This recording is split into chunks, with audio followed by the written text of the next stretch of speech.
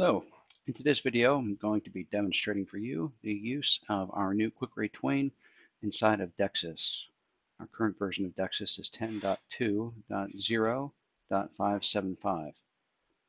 So I have a test account open here, and to activate that Twain, I'm going to go ahead and click on the radiation button, and that's going to be located in the top right-hand corner. Go ahead and click through these prompts. This is the window that you should be presented with when you click that button.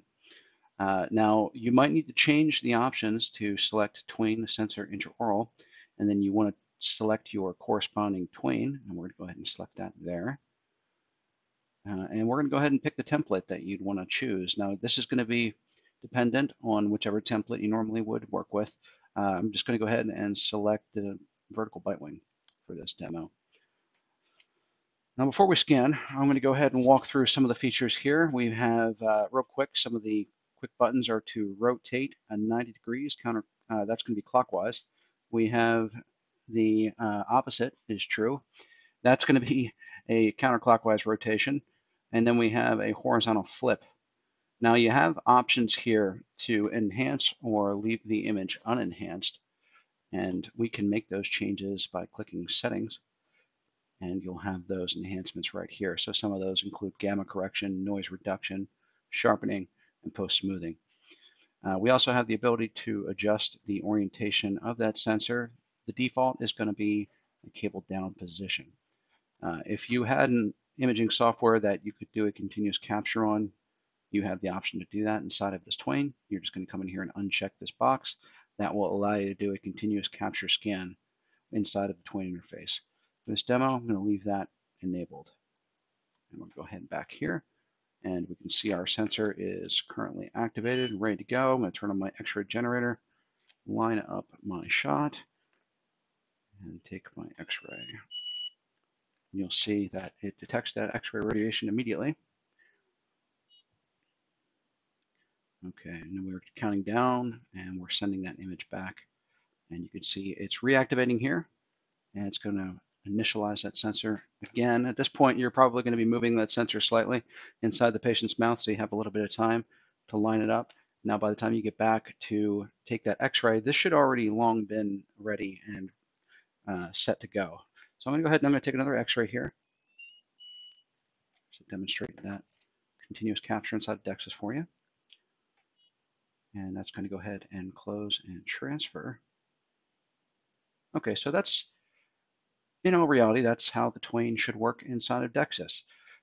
And again, if you had an image here and you wanted to adjust those settings, uh, what I'll do here is I'll just turn off continuous capture and we can see what I'll do. You can see now there's a bar on the right hand side. This is where our x-rays are going to go.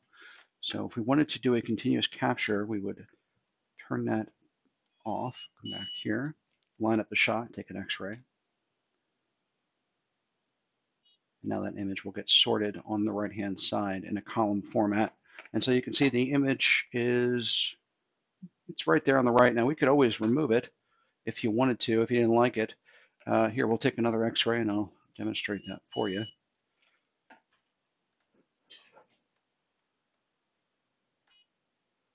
Okay, so let's say, you know, out of these two, this one's lined up a little better. So I don't, you know, we don't need that first one. We'll go ahead and we'll erase it. And, uh, you know, if we wanted to make some adjustments to this image before sending it over into DEXIS, we could do this here.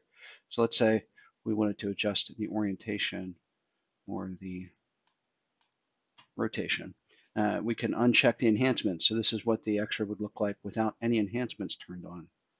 I'll go ahead and turn that back on. Let me go into settings and I'll show you a really cool feature I, I like. I'm going to go ahead and increase this by one. I'm going to also decrease this and increase this slightly. And when I hit done, we should see these changes applied right there to that x-ray. And uh, so it's a nice feature to be able to uh, take an x-ray and make those changes to the image enhancements on the fly without having to continually retake another x-ray. And so once we've really locked in our image settings, we can go ahead and we say, okay, we like this image. We're going to transfer, we'll close it and it'll send it back over. Okay, I'm going to go ahead and hit cancel here and stop the capture. for DEXIS. All right, and that is the demonstration of our new QuickRay Twain within DEXIS version 10. Thank you. Have a great day.